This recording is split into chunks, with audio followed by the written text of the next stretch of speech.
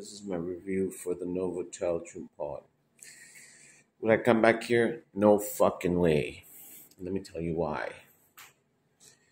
The rooms are big, as you can see, but very outdated.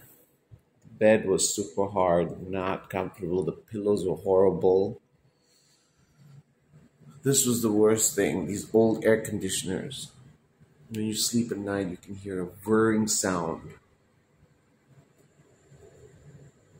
Instead of just a flow of air,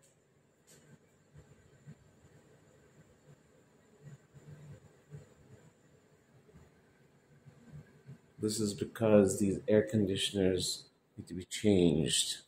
I guess this hotel's 15 years and they haven't had an upgrade.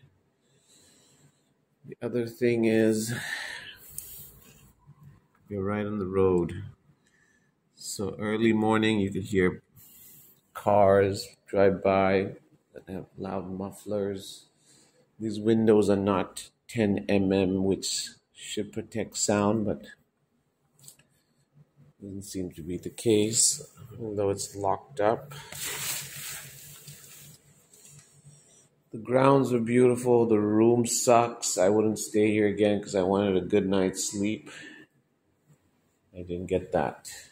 Six o'clock, you could hear people banging the door, moving chairs like this. You could hear it from other rooms.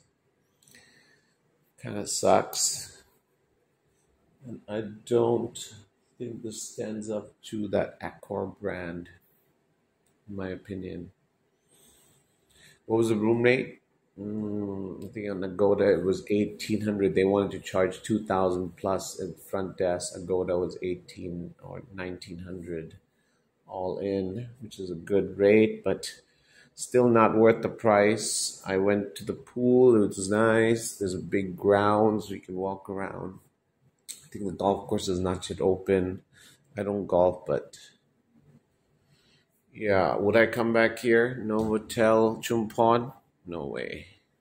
Because I couldn't sleep well. The bed wasn't comfortable. The pillows weren't good. It was just a horrible experience. And I'm going to go try the breakfast after I do some yoga.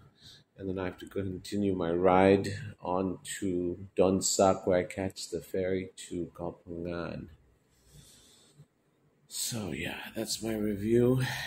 And as you can see how dated and old this is.